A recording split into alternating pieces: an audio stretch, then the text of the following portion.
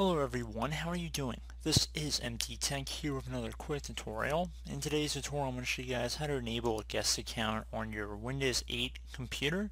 So this should hopefully be a pretty straightforward tutorial and without further ado let's jump right into it. So the first thing you're going to want to go do is right click on the start button and then left click on control panel. You want to set your view by to category view and then you want to left click on user accounts and family safety. Now you want to left click on user accounts.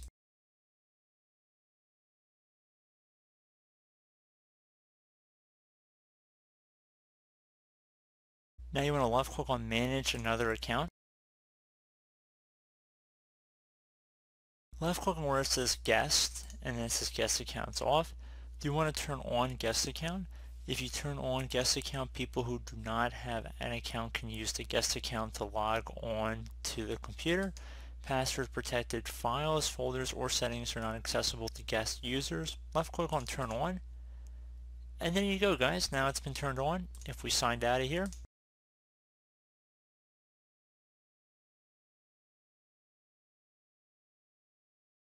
and we scroll this lock screen up, you see now we have the guest account we could sign into.